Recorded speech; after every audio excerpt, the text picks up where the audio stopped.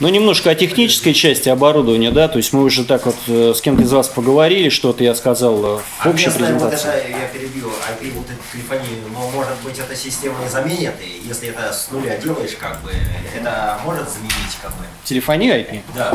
Ну, в принципе, Ну, вам так... Нет, можно, конечно. То есть, если есть Спасибо. задача, допустим, вы, э, ну, немножко даже увеличу задачу, да, у вас многоквартирный дом, большой, там 5 корпусов, неважно. У меня вот сейчас в Екатеринбурге проект 1138 мониторов будет. Вот они закрываются. Они хотят как? Говорит, а есть видеоинтерком? Я говорю, да, конечно. То есть вы из любого мони- дома то есть у вас, допустим, дом 2, пятый подъезд, там 13 квартира, вы хотите позвонить в дом 1, четвертый подъезд, там Вася у вас друг живет, пошли гулять с собакой вместе. Вы можете, набрав на мониторе его адрес, позвонить к нему, у вас будет видеоинтерком между вами, если у вас, конечно, камера есть в мониторе. Если камеры нет, будет аудиоинтерком. Вы можете позвонить, если выход на СИП есть. Ну, Ну да, можно, такая. можно. Вы набираете, э, грубо говоря, номер квартиры, если у вас одна сеть, один адрес будет, да, один дом. У вас коттеджный поселок фактически будет один, один дом. Ну, сейчас в настройках я покажу. Набрали номер квартиры, у вас сразу звонок пошел туда. Это если есть ну, интернет, да? Да, ну и между ними, конечно, интернет нужен. Они должны быть в одной Тогда сети. на это расскажи, тогда, чтобы не ставить какие-то там э, Ну, специальные... мы сейчас телефонами практически стационарными все перестали пользоваться, согласитесь. Только на работе там какие-то входящие, все на мобильниках сидим, да? Вот. А идти куда-то домофон и звонить кому-то, ну это уже скажут, это он. Ребята сейчас в белых халатах приедут, да, я тебе по домофону позвоню. Это можно, понимаете, функционал широчины, реально можно это сделать. Только вопрос, а зачем? Только зачем? Да, я говорю, кино можно на мониторе смотреть. Никому не надо, но можно. У меня вот пришли ребята на мир, знакомые монтажники, или на Уловер, я не помню, года три, наверное, назад или два. Я ему про это говорю, вот кино можно пос- посмотреть. Они говорят, слушай, говорит, насколько можно, нужно упороться, чтобы смотреть кино на мониторе, да? Вот своими, своими словами будем называть. Так, ладно, давайте вернемся к презентации. Да, э, подключение компонентов системы. О чем мы говорили? Ну, немножко повторим ту большую схему с домом. То есть все идет через коммутатор. Любой сетевой коммутатор, который у вас есть или хотите купить, э, там, TP-Link, HP, всё, что нравится. Индивидуальная панель. Э, В комплекте идет блок питания, многоквартирка, UPS, ДПП опционально. Он же А на если замок. существующий коммутатор закрыт там чего-то или там... Ну а как вы хотите сеть строить? Тогда сто- кладете опять витуху, кидаете и новый коммутатор ставите, делаете отдельную сетку под мифонию. Ну а что делать? Потому что если вы хотите залезть в сеть провайдера, он вам это сделать не даст. Банально. Он скажет, это моя, мое оборудование, если хочешь его использовать, будь любезен, плати мне деньги за это. Потому что, ну, аренда банально, да, сетей. Вот, далее, что у нас есть? Монитор консьерж, опять же, с блоком питания, внутренний монитор. Панельки, опять же, повторюсь, с э, встроенным реле управления замками. Э, При желании вы можете управлять и шлагбаумами, и турникетами, все, что хотите. На сухие контакты, на блок управления, милости просим. А Вот с этими вызывными панельками, они очень популярны все-таки, но, так скажем, они самые первые. И был проект с одной из компаний, которая занимается установкой парковок, шлагбаумов. Они э, ставили эту вызывную панель, тоже как тревожную, для связи с диспетчером. То есть диспетчер смотрел, там скорая приехала, пожарная, если надо, он через релюху открывал, под- поднимал шлагбаум. Который этим занимался, Парктайм. Есть э, компания тоже московская, Вектор АП. Они тоже занимаются парковками, там у них опыт широчины. Ну, ну, они- у них, насколько я знаю, их просто получше знаю, они итальянские шлагбаумы ставят, э, Каме, Genius и бельгийский Automatic Systems. Алексей, маленький вопросик. Вообще в сети коммутатор всегда на ЛПС вешают. Что еще раз? Коммутаторы вешают всегда на ЛПС. Нормально. Ну и, наверное, монитор консьержа, он тоже ЛПС. Ну, конечно, конечно, конечно. Потому что, да, если у вас э, банально это на UPS висит панелька, вам надо с консьержем связаться, любой, берете любой компьютерный UPS. Раньше мы использовали тоже UPS CPP, он назывался для монитора консьержа, но мы его сняли с производства, потому что смысла нет. Любой компьютерный включили, все, вопрос нет. А еще такой вопрос. Вот эти панельки, они э, только с вашим ПО работают? А, то бишь, задачу проще скажи. Задача, ну вот как раз по- по- у нас просто есть объект, где стоят там вызывные панели, которые используются как э, ну, кнопка охраны, да, то есть, э, можно с человеком пообщаться, там открыть ему дверь, ну такого же принципа, да, значит, там стоит э, Microsoft. С микроскопом интеграция, по-моему, есть. кстати. Есть, да? надо, надо уточнить. А, знаю, что планировалось с интеллектом, с микроскопом, по-моему, тоже. Знаете, это надо саппорт запросить, не готов вам сказать, потому что интеграции несколько, с кем точно не скажу. Тут, опять же, если вам это нужно, мы ее сделаем. Это даже наша заинтересованность больше оборудование синтегрировать с различными системами. То есть тот же Vegan 26 не просто так появился, да, от пожеланий клиента.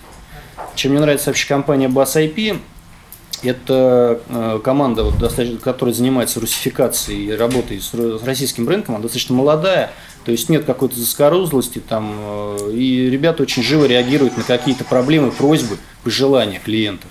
Там, вплоть до самых абсурдных, да, там,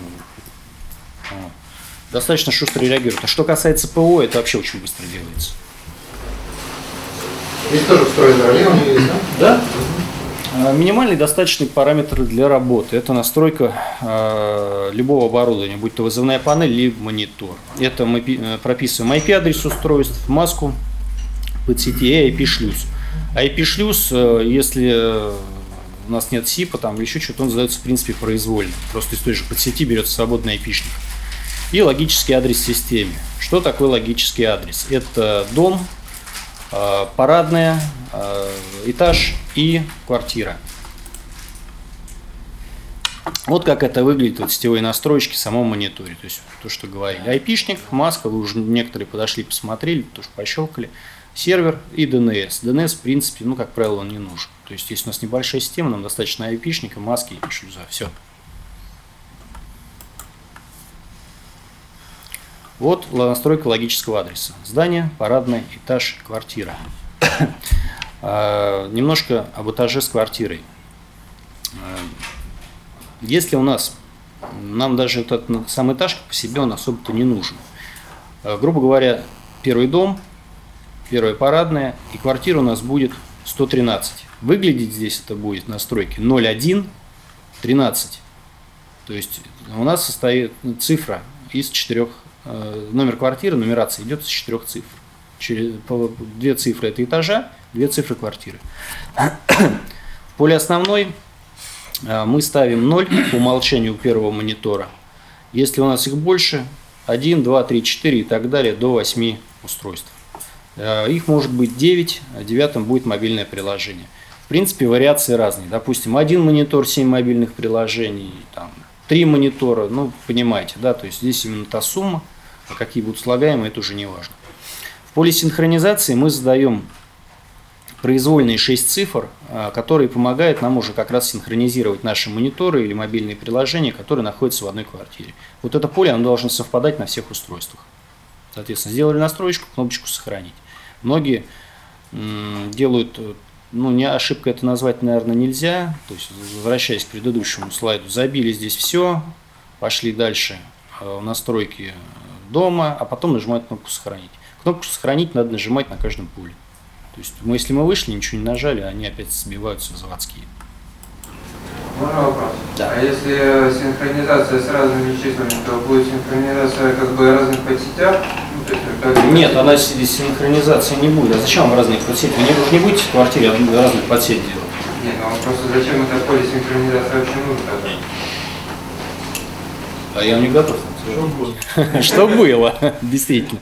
Понимаете, чтобы не было так, что к вам пришел э, сосед, а, ну, теоретически тогда, он, зная ваш адрес из своей квартиры, зная ваш айпишник, зная ваш э, логический адрес, решил тоже получать ваши звонки. А, Но поле синхронизации он не знает. Даже ну, типа пин-кода. Типа пин-кода, да. То есть даже попав в настройки по умолчанию, это 1, 2, 3, 4, 5, 6, да, у нас некоторые монтажники бывают так, что они-то этот, э, так оставляют этот пароль, не меняют.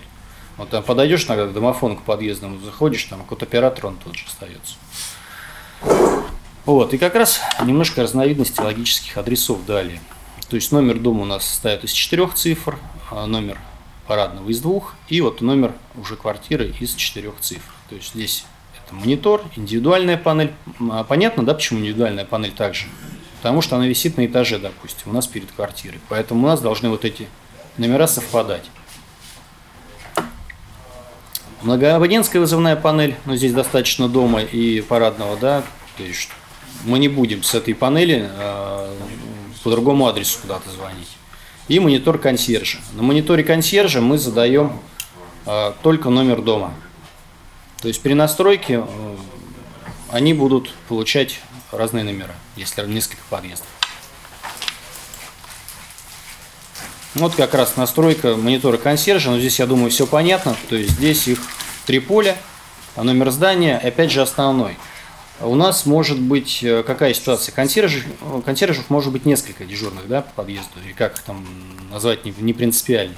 То есть здесь повторяется та же схема, что и на абонентских мониторах. От нуля 8 устройств до семерки. Сделано для чего? Если у нас идет э, сеанс связи с одной из квартир, Э, звонок идет еще с другой квартиры, у нас он сразу э, адресуется на дополнительный монитор. Либо если у нас дополнительный монитор никто не снимает, у нас выскакивает здесь поле, что звоночек входящий еще идет с квартиры, мы можем предыдущий либо завершить, отбить, взять следующий звонок. Синхронизация точно так же сделана по тем же причинам, что-то вроде пин-кода. А если у меня две панели этаж? Допустим, длинный, длинный коридор. Угу. Вызывные. С лифта выход, вызывная панель, с лестницы выход на этаж, вызывная панель. Вот, э, если вернуться обратно, только что мы смотрели, да, вот индивидуальная вызывная панель, может быть, две, три, как э, это все прописывается? Или не просто параллельно, ну я не знаю. Как. Нет, но у вас, э, вы записываете квартиру, у вас идет нумерация этих панелей. Сейчас я не соображу, честно говоря, настройки надо залить. Сейчас мы немножко продолжим попозже. Я открою, когда веб-интерфейс уже увидим. Просто бывают задачи. Да, да, да. Это все настраивается, то есть по-нормально, они различаются, это в веб-интерфейсе все настраивается. Сейчас просто здесь это не увижу. Потому что панельки, они программируются исключительно через веб-интерфейс. У них нет экрана, да, мы никак зайти туда не можем. Многоабонентскую, конечно, можно по привычке клавишами настраивать, это не проблематично. Вот. Но намного, на мой вкус намного проще подключить к компьютеру, залезть в программу и, собственно, настроить ее. Настройки не такие большие. К шлифам сигнализации вот э, подходили, задавали вопросы сейчас кто-то из вас. Вот э, настройка как раз шлейфов. То есть здесь мы прописываем шлейф, какой у нас за что отвечает, то есть там выпадающее меню. Мы его обозначаем, что он отвечает. Допустим, датчик газа.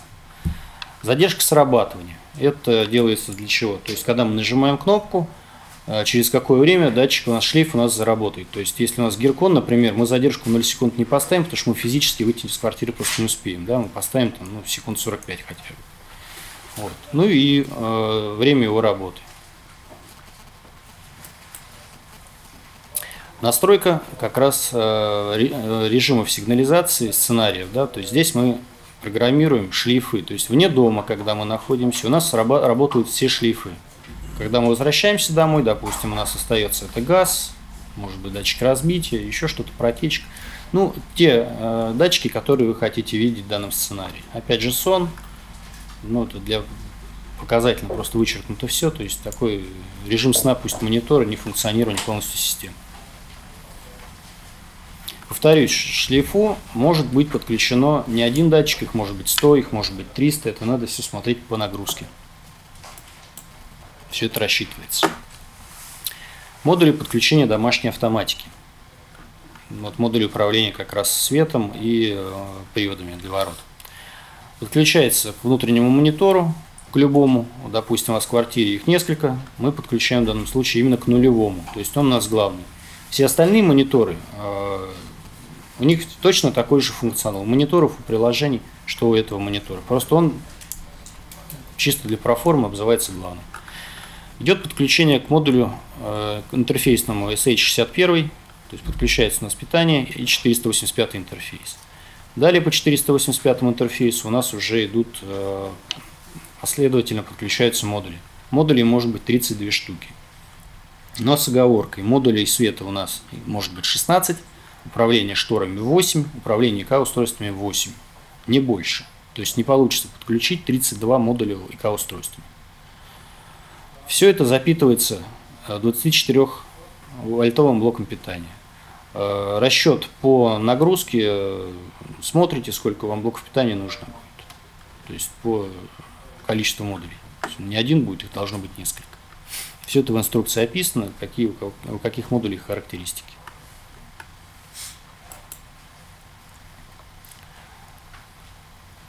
Настройка автоматики.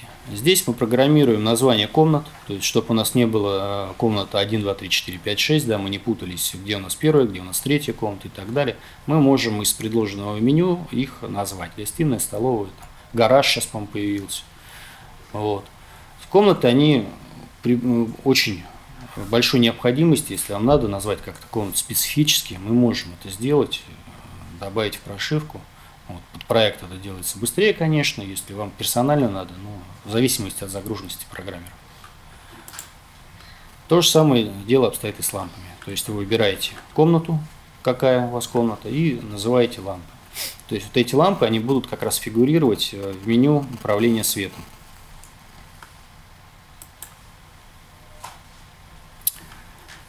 Это интерфейс настройки модулей домашней автоматики. Настраиваются они э, при помощи подключения модуля через э, преобразователь USB на 485 интерфейс.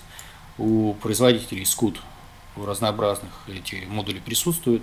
То есть берете тот, который вам в принципе больше нравится. Мы программировали через контековский или через гейт. На русском языке софта нет. Нет, ну здесь на самом деле э, Понятно. Все очень просто, да, понятно. Здесь не пугайтесь, что есть такая масса вот этих окон, а окон их заполнять не надо, это э, нет там безумия какого-то. Здесь вы фактически задаете адрес модуля и э, ну, нажимаете кнопку read, он э, читает, соответственно, дает от- отклик, что он его назвал, адрес прочтен. И все, айпишник задавать не надо.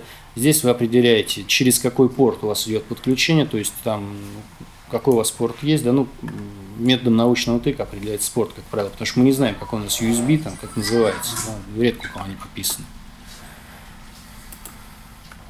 Вот, настройка домашней автоматики. Э, Выбираем модуль, то есть мы там настроили на предыдущем слайде, допустим, это модуль 1 у нас, модуль управления светом. Э, Выбираем номер сцены и выбираем, что он делает по этой сцене. Здесь выпадающее меню, открывается, закрывается, включается, выключается, то есть в зависимости от модуля тот функционал. Может ли модуль блокировать действие других модулей? Нет. А с другими системами как взаимодействует? Есть модули преобразования шины KNX, сейчас будет, на MIPS его показывали, но пока не в рабочем, так скажем, состоянии. Думаю, А как он открыт? KNX, Нет, я имею в а ВАСовский? Да. Нет, закрыт проприетарный протокол, закрытый протокол, да. Если по SIP, то по SIP работаем, но Под Linux нет никаких модулей, нет? под Linux нет. Ну, кстати, сама операционка она на Linux, если интересно. Ну, то есть было закрыто все, да? Так, и здесь э, у нас показано добавление IP-камер. Делается это следующим образом. Мы заходим на монитор через веб-интерфейс. Э, Мы можем зайти на монитор э, через веб-интерфейс в двух случаях. Мы можем делать настройки, не вместо того, как через меню, а можем через вебку, ну, кому как удобнее, опять же, да. Есть две веб-морды. Одна для настроек, вторая для добавления камер. Добавление камеры, если я не ошибаюсь, идет э, логин юзер, пароль 1234. Выскакивает вот такое вот у нас окошко. Мы нажимаем кнопку «Добавить IP-камеру» и попадаем сюда. Если камера у нас присутствует в сети и она работает по OnVIF, мы ее уже сразу увидим, как правило. А камера LG, я вот им делал стенд для одних строителей в Москве, я прикручивал им LG. Она добавила сразу. Если OnVIF не добавился, берем RTSP строку и вста- вставляем вот сюда. Опять же выбираем канал какой на камере, имя пользователя, пароль с камеры и ее название присваиваем. Все, нажимаем добавить. У нас появляется, у нас появляется список камер. Вот здесь одна в данном случае. Да, вот мы заполнили, подтвердили. Здесь уже название камеры, RTSP строка. Вот она так вот выглядит. Здесь IP, камера RTSP пользователь пароль. Здесь понятно, я думаю, да, с камерами все работали с IP-шками. Если какие-то проблемы будут с настройками, всегда обращайтесь, сразу скажу. Опять же, есть еще функция. РТСП это что за такой протокол? Это и есть протокол у всех производителей камер, он есть. То есть мы используем там, ну, это вещать, так скажем, это вещательный протокол. Он, Вещательный, да? да, он есть у всех. То есть здесь в этом он, э, не сомневайтесь, любая камера, даже там какой-то самый страшный Китай, в нем это присутствует. Потому что некоторые Anviv, там э, Anviv 3, э, насколько есть, э, первый, второй, третий Anviv, да, вот, бас работает со вторым подхватывает смело, если я не ошибаюсь, опять же. А с РТСП проблем не возникало. То есть единственная проблема была на моей памяти, ребята технари с басом не говорили, было это, по-моему, где-то в феврале этого года, проблема решена, насколько я знаю, были проблемы с Дахуа. Из-за того, что они тоже используют там какой-то свой протокол, как-то они секут РТСП и э, битый переходил поток. То есть он идет, идет, потом бам, прерывается, потом опять идет. Ну, я пока не встречал, э, духа я просто не видел подключений. Я не видел с э, камеры, которая не работает. И HIC, RVI, LG, Penetron, что там у нас еще, STV, 3S видеоглазовский, Потому что прекрасно понимаю, все вы используете камеры, те, которые вам нравятся, те, к которым вы привыкли, к софту там и так далее, к настройкам. Проблем не будет. Если будет, звонить. Будет очень интересно посмотреть. Вот. Есть функция монитора еще одна. Это просмотр камеры в режиме ожидания. То есть, если у нас по умолчанию на мониторе, ну вот сейчас он в режим ожидания ушел, черный экран, да, то есть вот так у нас менюшка выглядит. Через минуту меню погаснет. Вы, кстати, кто если не смотрел оборудование, есть желание, потом посмотрите, подходите, пощелкайте. Специально привез. Вот. Монитор уходит в режим ожидания, показывает часики. А, что еще можно, кроме этого, отображать? А, монитор может работать в качестве фоторамки. Поставили SD-карточку, поставили фотографию, он гонит фотографию. Не хотите фотографии, э, будет показывать, например, IP-камеру. Берете IP-камеру, вот как здесь галочка стоит, вы ее определяете, и монитор показывает IP-шку в течение часа. Потом монитор уходит в режим ожидания. Сделано это принудительно, чтобы не выгорала матрица. Потому что все-таки мониторы, они не профессиональные для видеонаблюдения, да, даже не компьютерные. То есть матрица, она выгорает. Но Подошли, потом тапнули по нему пальцем, он опять заработал, картинка показывает. Э, функция популярна где? Например, если стоит, э, есть такая штука, как просмотр, вот, кстати, часы появились, э, где стоит ваш автомобиль на парковке. Люди иногда хотят видеть. То есть постоянно показывает камера ваш автомобиль. Или там, что перед лестничной, на лестничной клетке происходит перед лифтовой площадкой. То есть тут зависит от фантазии. Некоторые управляющие компании тоже хотят продавать, кстати, как дополнительную услугу, то есть, э, ну, например, в Москве ЖК Дирижабль, там база IP установлена, управляющая компания думает, как сейчас это применить, они хотят именно доп. услуги продавать, э, показывать место на парковке жителям.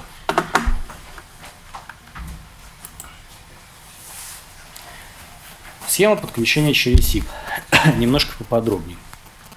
Вызывная панель подключается к коммутатору и к SIP-серверу.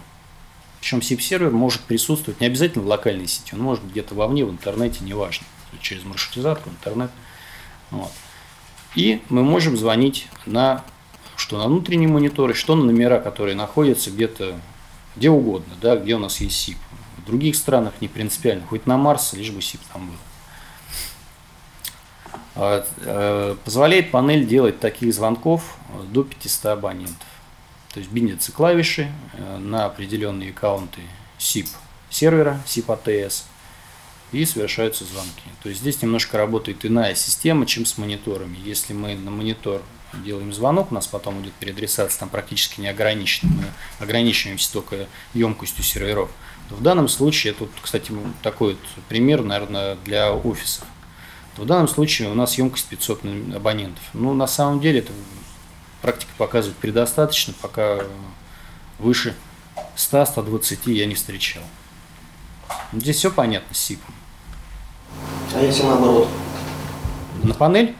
Да. Можно. Мы сейчас, э, ну, не знаю, секрет, не секрет, э, с одним, не буду называть, кто, очень крупный э, оператор связи, российский, они тестируют панели, чтобы закрыть целый город. Они через свой АМС э, тестируют, я ездил туда несколько раз уже тоже командировку. А они хотят э, вплоть до того, чтобы даже на обычные абонентские трубки, на обычные телефоны. То есть идет как раз то, что спрашивали, преобразование сигнала SIP GSM, SIP обычный телефон.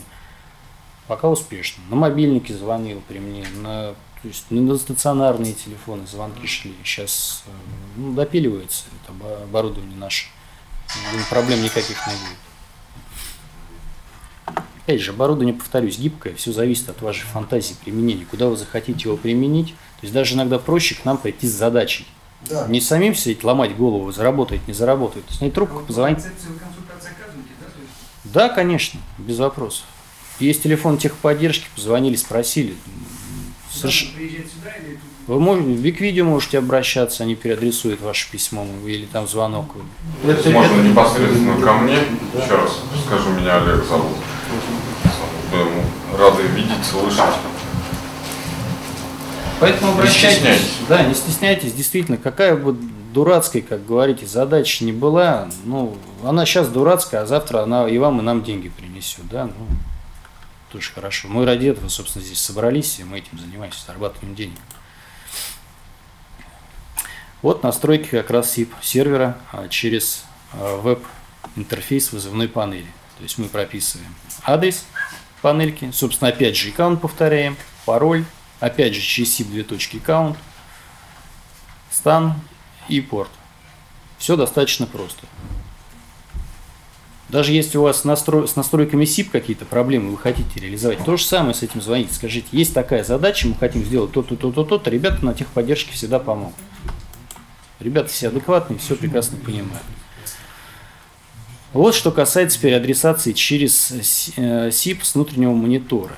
А, Всего два поля на SIP аккаунты, но это не означает, что мы всего два SIP аккаунта можем использовать. То есть SIP, ус- не два SIP устройства. То же самое, это может быть выход на один SIP аккаунт, который в свою очередь делает переадресацию еще на несколько аккаунтов. То есть, в принципе, количество не ограничено. Мы теоретически на монитор в вашей квартире можем повесить там, не знаю, роту солдат да, с мобильными телефонами, которым будет всем приходить звонок с вашего домофона. И они все будут дико радоваться, что кто-то позвонил.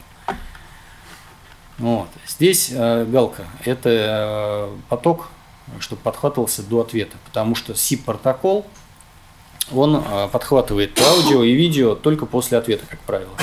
Это сделано, чтобы шел, шло видео до ответа э, на телефон, потому что, ну, если SIP мы делали переадресацию, вы бы видели, что, в принципе, черный экран. После того, как мы снимем трубочку, мы видим человека. Но для, домофон для того и предназначен, чтобы мы э, до общения еще понимали, да, кто там стоит. Может быть, опять сосед соли пришел, да? Опять же, есть функция автоответчика на мониторах. То есть, если вы не снимаете трубку, через определенное время срабатывает автоответчик, и э, сообщение может быть записано на SD-карточку. Ну, здесь, в общем-то, широченный функционал, опять же, вызов консьержа переадресации, переадресации на SIP-адрес, т.д. и т.п. Это таблица маршрутизации. Она используется как э, и с SIP номерами SIP аккаунтами, так и по протоколу peer-to-peer. А, По поводу SIP, ну, здесь, в общем-то, наверное, понятно. Вот, допустим, 500 квартира, мы ее забиваем на SIP аккаунт Linkphone. Вот, да, у нас оператор связи есть SIP. И у нас сюда будет, набрали мы номер 500, он- мы будем попадать сюда при переадресации. Допустим, сота, сейчас вот найду здесь, а здесь, наверное, нет, но неважно. Допустим, 101 квартиру мы хотим подключить по протоколу не используя SIP-сервер. Делается это для чего? То есть у нас э, в квартире стоит обычная SIP-трубка, и, а не басовский монитор. То есть мы хотим звонить на SIP-номер этой трубки, которая у нас в же сети находится. Мы пишем 101 э, в этом, но- в этом поле, здесь 101 собака SIP э, IP-адрес. Делается это вот здесь, вот как раз, э, потом отражается здесь. То есть нажимаем кнопку «Ре- Submit, подтверждаем, добавляется в табличку. В дальнейшем мы это из этой таблички можем добавлять, выбирать номера как угодно. Код открытия двери. Э, У некоторых телефонов, вот то, что мы, если мы используем SIP, да, код открытия двери может быть разный. То есть, если у басовского оборудования там решетка, да, то у некоторых там надо цифры, чтобы какие-то отправлял на панель. Они определенные они все вбиты уже? Вот мы и вбиваем для этого. То есть, чтобы мы понимали, как- каким кодом у нас будет открываться дверь. Стоят у нас телефоны, которые отправляют в данном случае 66. А, с телефона я набираю определенный Нет, нет, нет. Телефон в ответ отправляет. На телефоне вы звездочку нажимаете. А он, он выбивает на панель код. Просто панель может не понять, что за код пришел к ней. И поэтому вот этот код, он в А его инструкции к телефону, любой, соответственно. он в инструкции к телефону, как правило, написан. Вы его пишете сюда. Опять же, здесь вот при желании по HTTP можете также код присылать.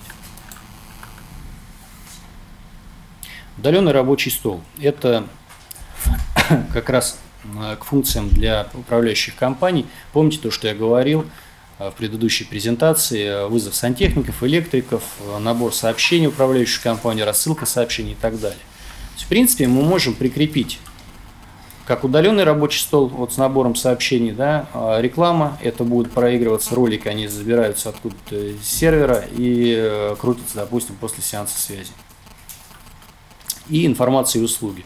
Вот здесь очень э, широкий функционал. То есть вы делаете HTML стран- страницу, а там все что угодно. Кнопки, э, сообщения какие-то, расписание электричек, там, я не знаю, вот ту информацию, которую вы хотите повесить. Кнопки в том плане, если вы хотите вызывать, э, например, диспетчера вашей компании, то есть вам надо вызвать э, сантехника, электрика. Вы нажимаете кнопку, вы общаетесь не через телефон, а общаетесь через домофон фактически. А у диспетчера на столе стоит обычный SIP-телефон.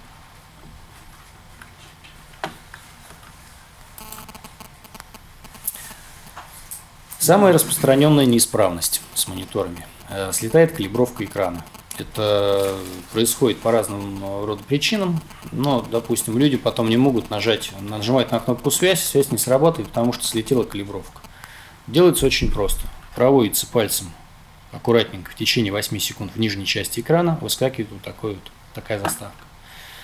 Далее вы нажимаете крестик, он будет появляться в разных углах, потом по центру, то есть вы последовательно делаете эти действия, после чего монитор перезагружается, калибровка устанавливается на место.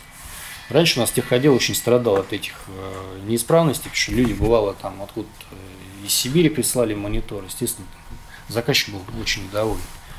А хотя это все можно сделать на месте в течение пары минут. За сим все.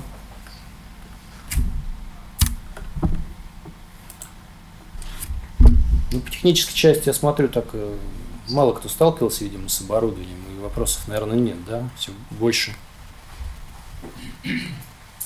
Где применить? Просто интерес- интересует вот концепция, то есть где преимущество. Я понимаю, что немножко, может, вопрос такой. Основные преимущества системы перед конкурентами, опять же, повторюсь, я в самом начале это говорил, система полностью сетевая, использует любое сетевое оборудование. Э, Наверное, ну не наверное, самое дешевое на данный момент и не глюченное. Есть еще э, чуть-чуть подешевле аналог, базируется представительство у вас в Питере. Вот. Но они частенько к нам заходят, я так скажу, я не самого бас IP, из компании дистрибьютора, да, к нам многие обращаются с желаниями работать совместно. Вот эти господа тоже обращались, обращаются часто, я говорю, ребят, я ваше оборудование знаю, вижу, на выставках сталкивался, а, видел все, но когда глюки-то кончатся, собственно? И когда будет пара проектов хотя бы больших? У нас проекты закрываются все больше и больше. Конкурентов мы э, выталкиваем из проектов. Если раньше на выставках э, мы стояли на стенде, я с Басом, ну, 4 года с ними работаю, ну, обходили, смотрели как-то заинтересованные люди, да, не обращали внимания. Прошлый МИПС вообще был фурор, я, All Over IP я стоял, как у меня язык опух. У меня вокруг люди постоянно были. Вот. Сейчас, последние два года, на стенд постоянно приходят представители BPT, Урмита, Камелиты, Фермакса, э, Маботикс, и же с ними облизывают стенд полностью. Вот итальянцы, бипетишники, они вот два дня на МИПСе бу- бу- буквально жили просто. А что, а как, расспрашивали. Ну, там, в общем, достаточно весело. И раньше не видели у нас конкурентов, теперь видят. Могу сказать, ну, даже есть представители одной из наших компаний. Да. Так что, господа, ну, мы, конечно, работаем. Мы стараемся.